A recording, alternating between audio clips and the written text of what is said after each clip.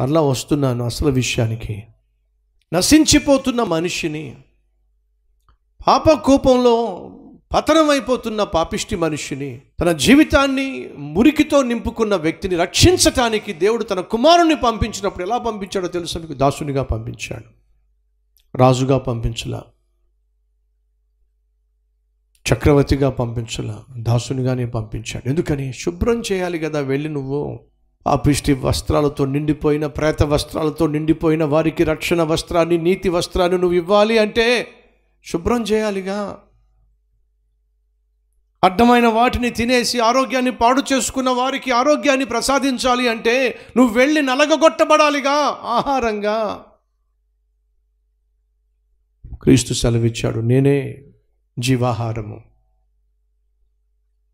ఆనాడు శిష్యులు యేసు మాట వినకుండా యేసు మాటను పక్కన పెట్టేసి చేపలు పడ్డానికి వెళ్ళారు. ఇది యహాన్ సువార్త ఇరవై ఒకటో అధ్యాయంలో ఉంటుంది. అలా చేపలు పడ్డానికి వెళ్ళారు. ఎప్పుడు వెళ్ళారో తెలుసా మీకు? ఏసయ్య చెప్పిన తర్వాత. ఏం చెప్పిన తర్వాత? మీరు నేను మీకు పరిశుద్ధాత్మను అనుగ్రహిస్తున్నాను. నా తండ్రి నన్ను పంపించిన రీతిగా మిమ్మల్ని నేను పంపిస్తున్నాను. మీరు వెళ్ళండి అని చెప్పిన తర్వాత తండ్రి చెప్పిన ఏసయ్య చెప్పిన మాటను స్వీకరించడానికి బదులుగా పేతురు ఏం చేశాడో తెలుసా? నేను చేపలు పట్టబోతున్నాను. కనీసం మిగతా వాళ్ళన్నా చెప్పాల్సింది పేతురికి. పేతురన్న ఏం మాట్లాడుతున్నావు నువ్వు? యేసుక్రీస్తు పాపిష్టి మనిషి కోసం మరణించాడు మరణాన్ని గెలిచాడు తిరిగి లేచాడు మనకు కనిపించాడు నూతన ఆజ్ఞ ఇచ్చాడు. తన తండ్రి ఏ రీతిగా తనను పంపించాడు అదే రీతిగా మనల్ని కూడా ఆ ఏసయ్య పంపించాడు. చేపలు పడతాడంటావేమిటి బుద్ధి లేకుండా? ఎవరో ఒకరు అనాలి కదా అండి. యోహాన్ సువార్త ఇరవై ఒకటో అధ్యాయం మొదటి వచ్చిన అటు తరువాత యేసు తిబిరియ సముద్ర తీరమున శిష్యులకు మరలా తన్ను ప్రత్యక్షపరుచుకొనెను. అదే ఏ విధమనగా? సీమోను పేతురు. సీమోను పేతురును దిదుమా అనబడిన మొత్తం కలిపి ఏడుగురు మూడవ వచనము. సీమోను పేతురు అంటున్నాడు నేను చేపలు పట్టబోదునని వారితో అనగా వారు మేము కూడా నీతో కూడా వస్తాం. పాత వ్యాపారం వీళ్ళది. చేపలను పట్టడం అనేది వాళ్ళ యొక్క పాత వ్యాపారం. మార్కు సువార్త మొదటి అధ్యాయము చదువుతున్నాను మీ కొరకు పదిహేడవ వచనము. నాకు పదహారవ వచనం కూడా. ఆయన గలలియ సముద్ర తీరమున వెళ్ళుచుండగా సీమోనును సీమోను సహోదరుడు అంద్రయను సముద్రములో వల వేయుట చూచెను వారు జాలర్లు. యేసు వారిని చూసి అంటున్నాడు నా వెంబడి రండి నేను మిమ్మును మనుష్యులను పట్టు జాలర్లుగా చేస్తాను అని వారితో చెప్పాను. వెంటనే వారు తమ వలలు విడిచి ఆయనను వెంబడించిరి. కొంత దూరము వెళ్ళిన తరువాత జబదే కుమారుడు యాకోబును అతని సహోదరుడుగును యోహానును ఆయన చూచెను.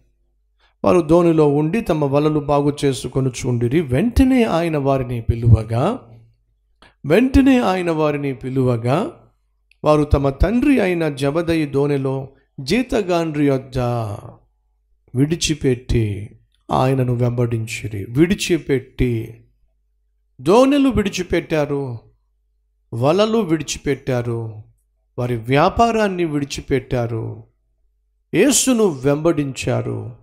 మూడు సంవత్సరాలకు పైగా యేసుక్రీస్తుతో పాటు కలిసి సేవ చేశారు యేసు తన తండ్రి పంపించిన పనిని పూర్తి చేశాడు. ఏమిటంటే పాపిష్టి మనిషి రక్షణార్థమై పాప పరిహారార్థ బలిగా తన్ను తాను సిలువలో అప్పగించుకున్నాడు. ప్రాయశ్చిత్తముగా తను తాను ప్రా- తన ప్రాణాన్ని దారపోశాడు దేవుడు గనుక దైవ కుమారుడు గనుక దేవునికి మరణము లేదు గనుక ఆయన మరణాన్ని గెలిచి తిరిగి లేచాడు. లేచిన తర్వాత తన శి- శిష్యులతో చెప్పాడు తండ్రి నన్ను పంపించిన ప్రకారం ఇప్పుడు నేను మిమ్మును పంపిస్తున్నాను. ఒక్క చాప్టర్ ముందుకెళ్దాం రండి.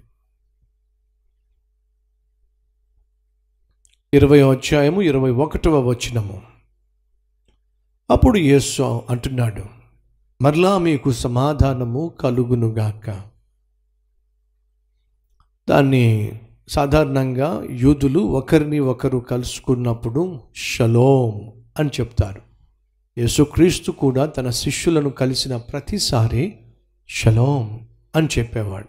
క్రీస్తునే వెంబడించే క్రైస్తవులుగా ఆయన వలె మనం కూడా ఒకరిని ఒకరు కలుసుకున్నప్పుడు షలోం అని చెప్పడం అద్భుతమైనటువంటి విధానం కనుక ఈ వన్ అంటే ఒకరిని ఒకరు కలుసుకున్నప్పుడు షలోం అని చెప్పడము బహుశా భారతదేశంలో మొట్టమొదటిగా ప్రారంభించింది మన కల్వరి టెంపుల్. ప్రపంచంలో చాలా సంఘాలు చూశాను కానీ రకరకాల విధానంలో ఒకరినొకరు పలకరిస్తూ ఉంటారు కానీ షలోం అని చెప్పి పలకరించేటటువంటి బహు కొద్ది సంఘాల్లో కల్వర టెంపుల్ ఒకటి.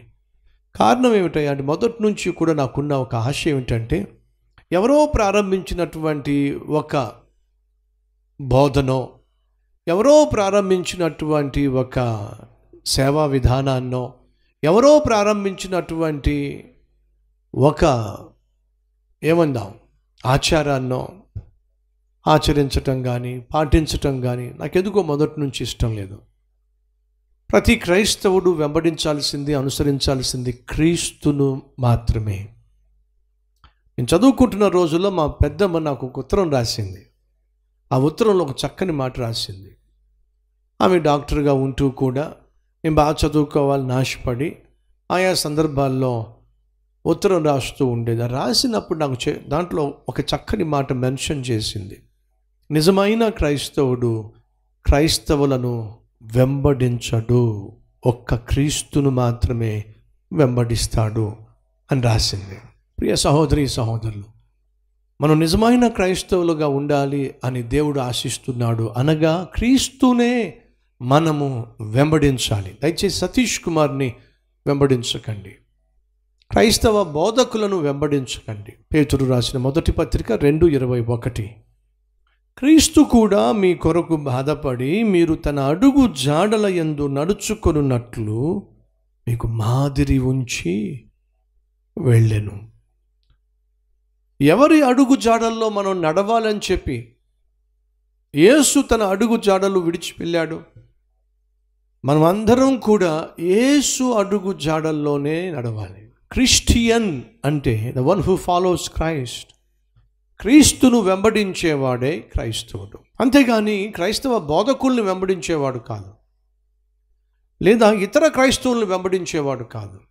మన కల్వరి టెంపుల్కున్న ప్రత్యేకత ఏమిటంటే మనం ఏ సేవకుణ్ణి కాపీ కొట్టాం ఏ సంఘాన్ని కాపీ కొట్టాం ఏ సంస్థను సంస్థ యొక్క డాక్టరీని మనం కాపీ చేయం. దేవుడు ప్రతి ఒక్కరికి ఒక చక్కని రూపాన్ని ఇచ్చాడు. దయచేసి గమనించండి మనం సేవిస్తున్న దేవుడు కాపీ చేసేవాడు కాదు.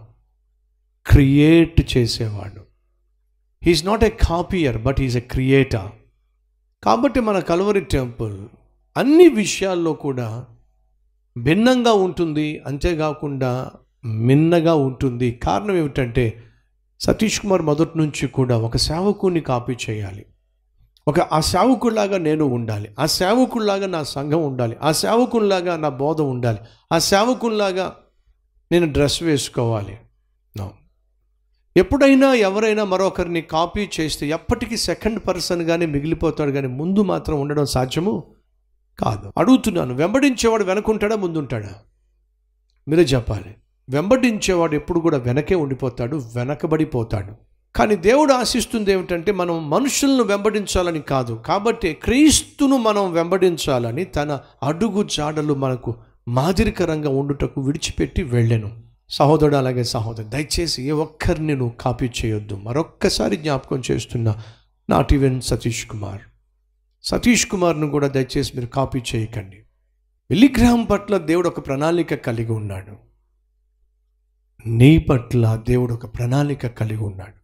సతీష్ కుమార్ పట్ల దేవుడు ఒక ప్రణాళిక కలిగి ఉన్నాడు. ఎవరైనా సతీష్ కుమార్ని కాపీ చేస్తే దేవుని యొక్క ప్రణాళికను ప్రక్కన పెట్టేసి సతీష్ కుమార్ వలే సేవ చేసే ప్రయత్నం చేస్తారు. అది దేవుని చిత్తం కాదు.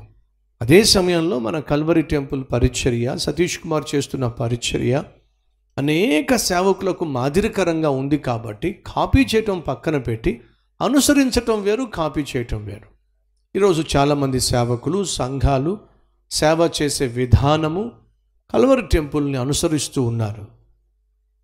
ఈరోజు కల్వరి పరిచర్య విధానాన్ని చూసి ఇంతకుముందు గోడలతో మందిరం నిర్మించేసేవాళ్ళు ఆ తర్వాత ఇంకా ఎక్స్పాన్షన్ చేయడానికి వీలుండేది కాదు. అలా కాకుండా ప్రీ ఫ్యాబ్రికేటెడ్ స్ట్రక్చర్తో మందిరం నిర్మించుకోవడం మొట్టమొదటి